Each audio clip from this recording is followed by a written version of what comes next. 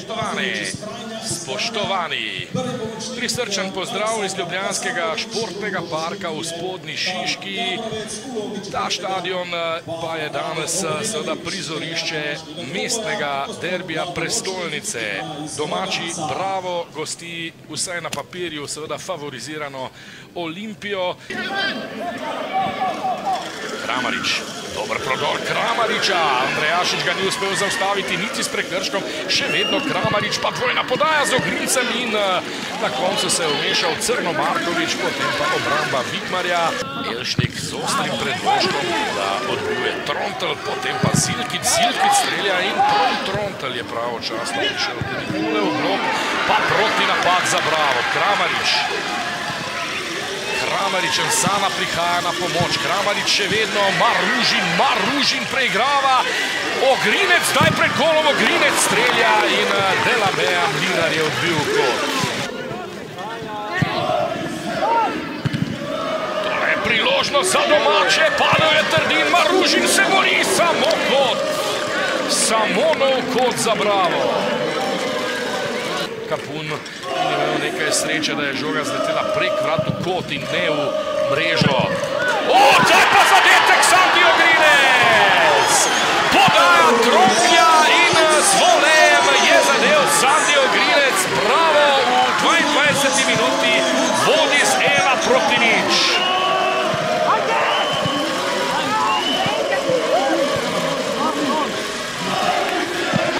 Križan je zdaj dobro krenil. Maružin, Maružin preigrava, še vedno Maružin, priložnost za Bravo, Maružin strelja pregola. Trontel pa bo zdaj podal iz kota, Trontel spet dober predložek in gol. Vanja Drkušič, dve proti nič. Že v prvi minuti nadaljevanja Bravo prišel do drugega zadetka, spet asistenca neposredno iz kota, nov odličen predložek Žana Trontla, potem pa nebeški skok Vanje Drkušiča. Bravo Olimpija, dve proti nič. Tukaj je Ogrinec, ki je sjajno zadev z vodejem v 22 minuti, ali lahko doda še en zadetek. Ogrinec. Zdaj do Crno Markoviča, pa spet dolga podaja, Križan brez težav. Potem pa vendarle Sešljar do Silkiča, Silkic strelja prek gola. Križan, Ogrinec. Kramarič, Kramarič strelja, brani tokrat Vidmar. Dober poskus Martina Kramariča je bil to. E pa tole, kar smo danes videli strani Olimpije vsaj do tega trenutka. Resnično premalo, spet Nukič, Nukič do strela in brani Vekič. Nukič. Nukič poizkuša. Sešlar, Sešlar proti Kurežu, gol. Ne. Skoraj da sem že zaupil gol. Tomič na Delamejo, skače Delameja, to da zanesljiv je ponovno Vekič.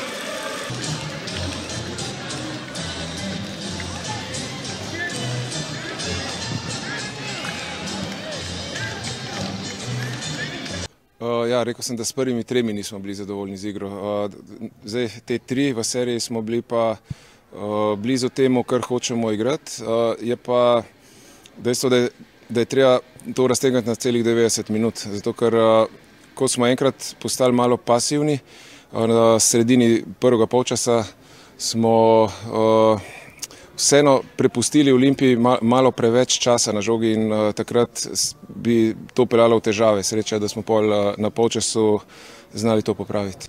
Mislim, to je osnova, uh, s katero štartamo proti vsaki ekipi. Uh, tisto, kar sem vam pa prej rekel, je bil pa uh, detalj, uh, ki ga, če se bo prevečkrat ponovil, se pravi, da bojo oni imeli izolirano ena na ena uh, te igravce, ki so dobri uh, v tem uh, elementu, bojo sledile težave. In, uh, res pa je, da smo že v začetku akcij opravili večino dela.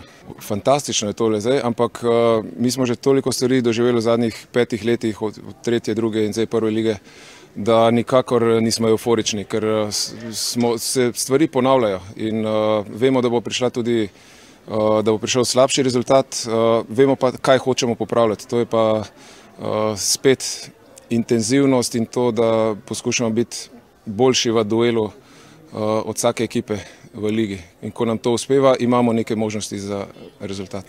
Ja, sigurno, dali smo vse v tekmo, vso energijo, borili smo se in se nam je obrestovalo in smo zmagali, tako da smo veseli. Ja, sigurno, sam, mi, mi ostajamo skromni in delamo in delamo in gremo naprej z delom, bomo prišli do željenega cilja. Vse se začne od obrambe. Dobro smo stiskali ta med prostor, nismo jim dovolili, da se razigrajo, da spoh kaj odigrajo in z nekimi polkontrami smo usvajali prostor in delali akcije. Pa ovo je zaista prvo veliko razočaranje za mene. Gubili smo neke utakmice ranije, ali je danas odnos bio potpuno pogrešan i ovaj, zaista moramo da se razmislimo dobro. Ovako zaista ne možemo nastaviti. E, ja ne volim krivicu da krivice ima sigurno u igračima, ali odgovornost uvek moja na kraju. To sam im rekao u slačionici. E, može da se izgubi, postoji milion načina da se izgubi, ali ne na ovakav način. Tako da ovaj, neke stvari ćemo sigurno korigovati i menjati u narednim danima, jer ovako više neće moći. To je 100% ovaj, dres Olimpije i grb mora da se poštuje, a neki ga ne poštuju. Opet je moja odgovornost, ako sam ih stavio na teren, a nisu dali svoj maksimum, a to je minimum što smo dužni da uradimo na svakoj utakmici. Jedini način da se prevaziđu problemi koje ja znam je radom.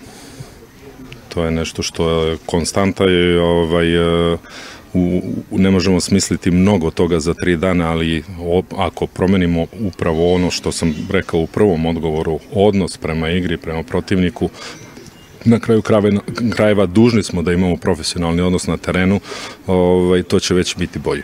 Ne, ne, ne, oni su ok.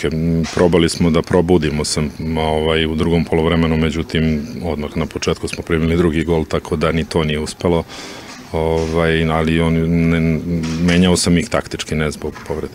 Uh, lahko rečemo vse. Uh, štart uh, katastrofalen, potem uh, gol iz prekinitve, uh, ko smo mislili, da, da smo mogoče rabili neko zaušnico, da se dvignemo, smo šli iz, iz tehnične napake v tehnično napako, potem uh, uh, prepustili vse druge žoge njim uh, in uh, na tak način, uh, s takim odnosom, uh, se ne da igrati uh, uh, proti nobenemu klubu v prvi ligi in uh, tudi ni vreden tega dresa.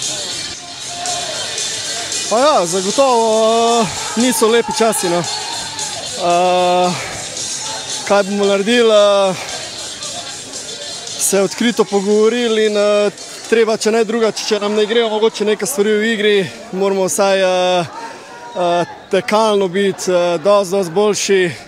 Pa kot sem rekel, te, te druge žoge, če, če, če jih ne dobiš, nimaš šans proti nobeni ekipi v prvi ligi. In, uh, še enkrat, uh, iskreno opravičilo sem najjačem Olimpije.